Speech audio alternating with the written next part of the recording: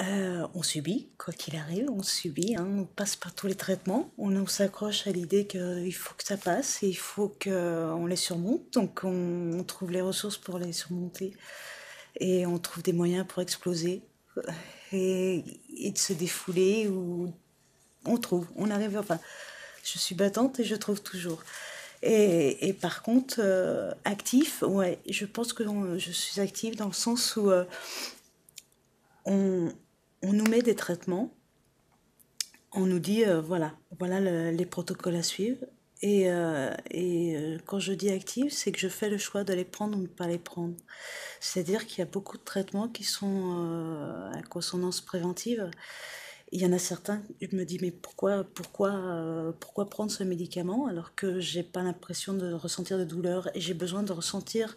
vous parlez beaucoup pour beaucoup, on parle d'échelle et d'évaluation de la douleur. Et j'ai besoin de sentir cette douleur pour savoir contre quoi je lutte. Et là, euh, pour la plupart, j'ai eu la chance d'avoir euh, physiquement un, corps qui gérait bien les traitements, donc de ne pas avoir forcément besoin de traitement par rapport aux douleurs.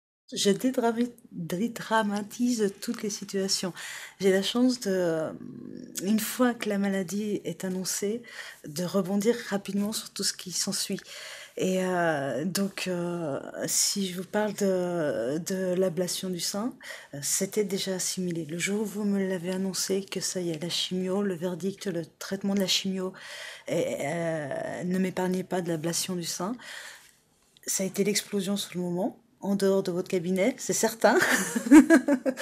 Et mais par contre, non, après je rebondis toujours très vite.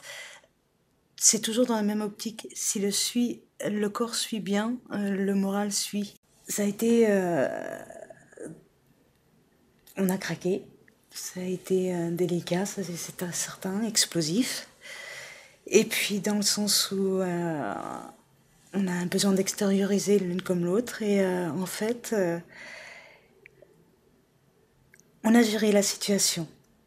Elle gère les angoisses, je gère la maladie, c'est ce qu'on a fait depuis le début, ça se passe très bien même si intérieurement c'est là, c'est en permanence.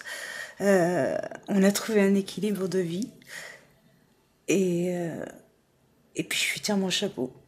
Euh, je veux remercier quelqu'un personnellement, et c'est mon ami qui, depuis l'annonce de la maladie, et enfin tous les accompagnants d'ailleurs, je dis un grand merci à tous les accompagnants, quels qu'ils soient, parce qu'ils sont dans l'ombre pendant toute cette maladie. Et euh, c'est ma manière de leur dire merci.